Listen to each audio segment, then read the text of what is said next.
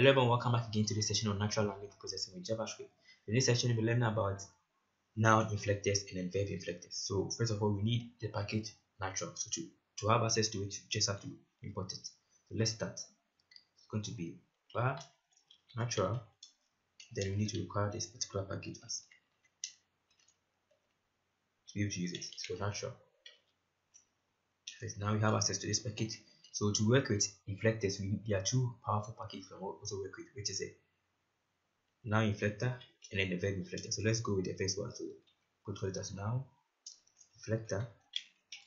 Then I need to create a, a new object of natural dot noun inflector property, right? That is for the noun inflector. So we can do a lot of things with it. So some of the things we can do with is can do plural and then singular stuff let's say an example.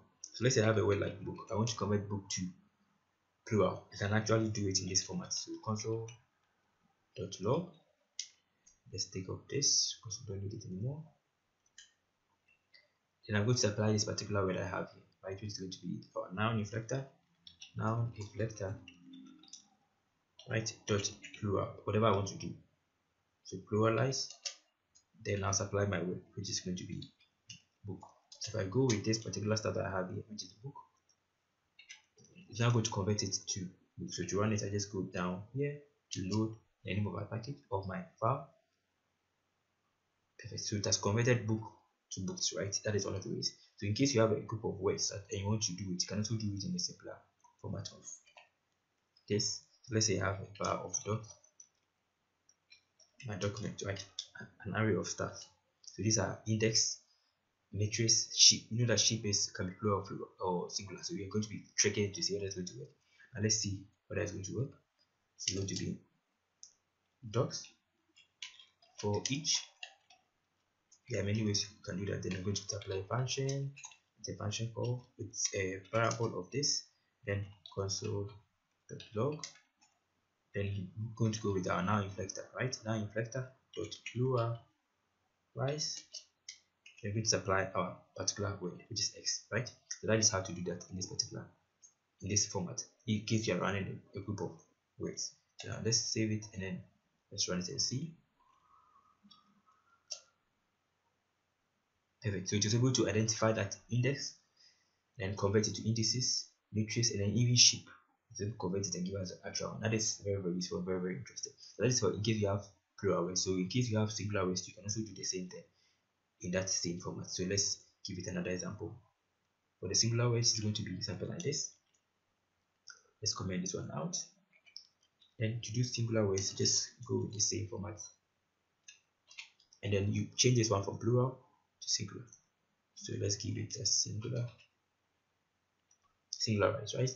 So if I give it as boost, save it and let's run it. It's going to print boost book for us because it is plural, which is quite interesting. So it's very interesting and very simple and easy to use. Okay, that is for noun inflectors. Now let's see another aspect you can also do with this particular package with the verbs, right? You can also work with verbs.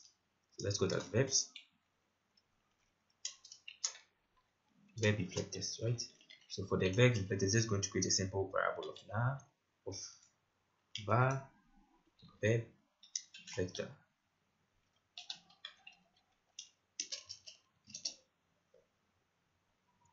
then going to require it from new natural dot get right? So we have to we have this we have this one not the first one. So okay so that's what we're using to create it. Present verb inflector then let's see an example. It's going to be console.log whatever thing we want to do. So this is going to be console. it's going to be our verb here verb inflector and then whatever you want to do. So in case you have a verb this must be a verb not a verb like something like has right? Has is a verb a singular. I want to convert it to plural. So i can also do the same thing and then it's going to work for us. Let's comment this one out. Then let's see. If i run it. Perfect. So it was able to identify has and then convert it to have for us. So let's apply something different which is like become becomes right? Which is a singular. We want to convert it to a plural. So it's just going to be the same thing as become. Perfect. So that is one of the things. So in case you have the other way around you can also do it in the same format. So let's try the other way around. Is going to be this and let's comment this one out. So in case it is a plural that you have so and you want to singularize it. Singular can spell right? Singular. Here I want to convert become to singular. If I run it it's going to see the difference. Perfect right? Becomes. That means that it's working. So that is the other way of working. It so this is how to work with noun inflectors and then verb inflectors in with the package natural. There's another simple way of also working with it. Instead of going through this long procedure you can also use the attach method right? So for example say i have a verb. So i can also do this particular verb inflector dot attach dot attach allows you to be able to do some interesting stuff instead of calling all this stuff with the dot attach you can just go straight away do whatever i want to do so auto dot log then I'll just go and supply whatever thing I want to do. So the word I want to supply is let's say talk, right? I want to convert talk to plural or singular. So talk is actually plural, so I want to convert to singular. So singular, singularize. It's going to go with singularize, present, eh, right? I think that is it. Something like this. Then if I run this particular stuff let's see it's going to work. Perfect. So it is able to convert this particular talk right to talks which is quite interesting. So that is how to work with this particular package.